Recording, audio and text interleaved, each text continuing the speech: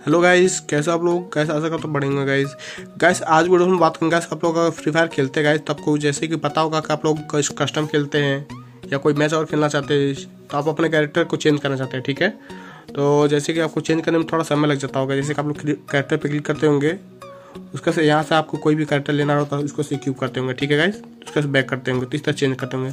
लेकिन गाइस मैं आज बताऊँगा आप लोग को तुरंत आप चेंज कर सकते हैं अपने कैरेक्टर को, ठीक है? तो तो गैस वीडियो से पहले, अगर आप मेरे हिंदी को नए हैं तो प्लीज़ गैस मेरे हिंदी चैनल चैनल को सब्सक्राइब कर लें, जिससे मैं अगर अपलोड करूँगा, आप लोगों को देखने में आसानी होगा गाइस तो सिंपली देख सकते हैं सब नीचे बॉक्स दिखा है इस पर क्लिक करना बॉक्स पे।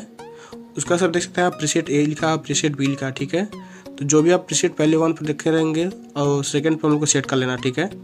सेकेंड पर मैंने ये सेट करके रखा के करेक्टर ठीक है? मैं सिंपली मैं इसको सेलेक्ट करके, फिर मैं टाइप कर देता हूँ स्क्रीन पे। तो तुरंत स्विच हो जाएगा। देखिए तो आप लोग कैरेक्टर चेंज हो गया। तो गाइस आशा करता आपको वीडियो अच्छा लगा गाइस अगर आपको वीडियो अच्छा लगा हो तो वीडियो लाइक करिएगा। मिलते गए वीडियो में। तब तक के लिए धन्यवाद गाइस